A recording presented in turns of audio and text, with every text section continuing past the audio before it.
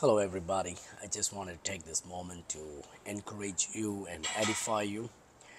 Uh, this morning, uh, I just had a phone call from one young man from our church, and this is exactly what he said when he was describing a certain decision that he had to make. And he said, Pastor, please pray for me because I really don't know what to do.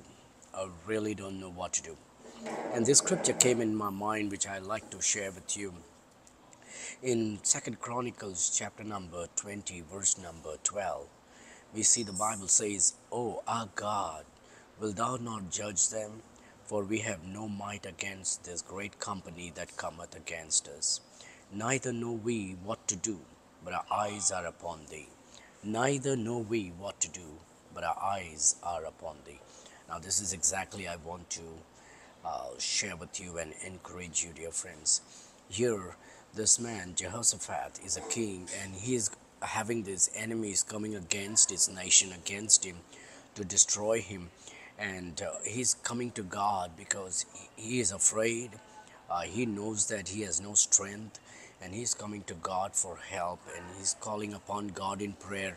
And he says, Neither know we what to do neither know we what to do. So when you don't know what to do, what do you do?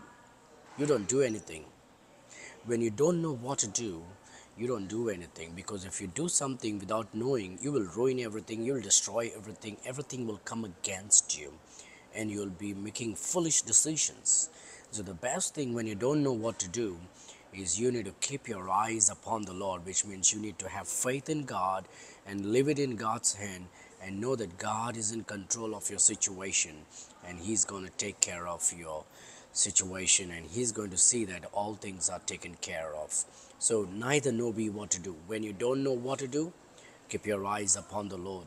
Just wait upon the Lord. Don't do anything. Wait upon the Lord. Pray to God and say, Lord, it's not in my hand. I don't know how to solve this problem. I don't know how to face this situation. I don't know how to tackle this matter but I'm just going to leave it in your hand.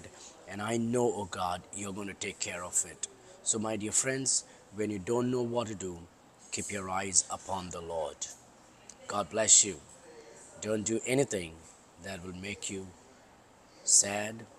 Don't do anything that will put you to shame. Don't do anything that will destroy the good that is about to come.